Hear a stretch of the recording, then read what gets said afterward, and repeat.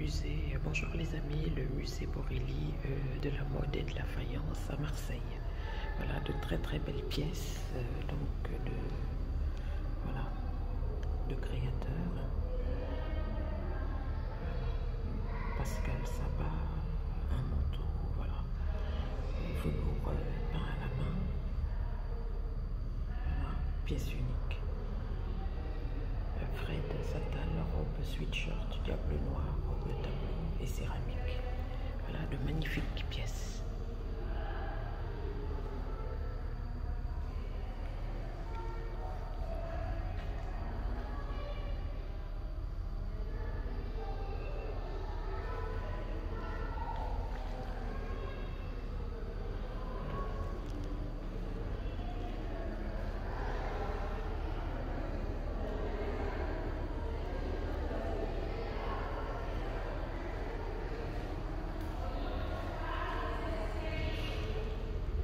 Voilà.